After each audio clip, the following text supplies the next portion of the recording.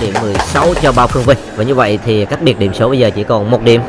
Phương Vinh sẽ né đá như thế nào? Phương Vinh sẽ né đá như thế nào? Anh đã né đá thành công nhưng có vẻ như là đủ lực hay chăng? Đủ lực rồi.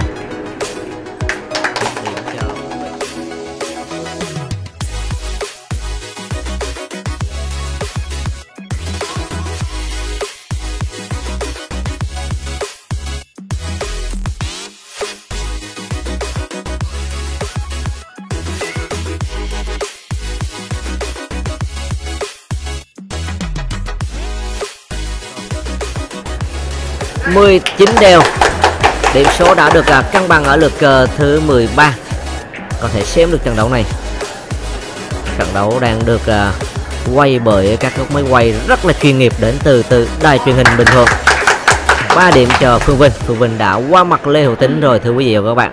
Ngay trong lượt cờ đầu tiên của đánh đầu tiên của mình Lê Hữu Tính đã có series 12 và bây giờ thì Bao Phương Vinh đã qua mặt với điểm số là 20 19 21 19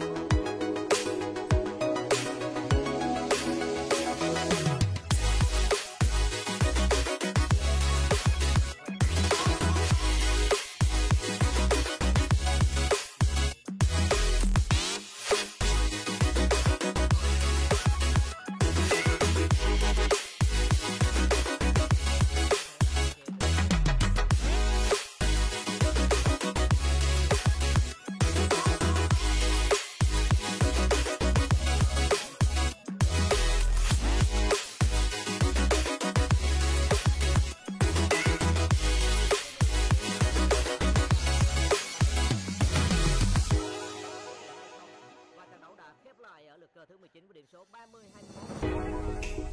21.